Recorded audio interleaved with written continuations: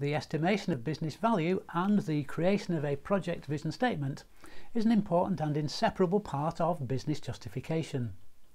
The estimation of the business value and business justification is determined by various factors, such as project reasons, project needs, project costs, project timescales, project risks and benefits. The first factor is project analysis. All factors that justify the project are considered.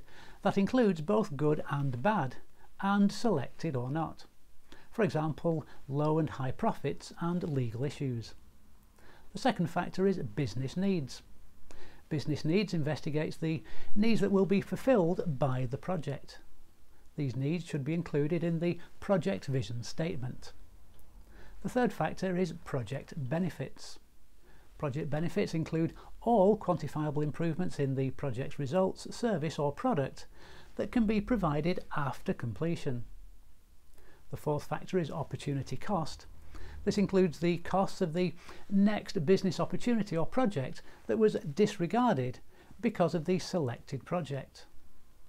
The fifth factor is major risks.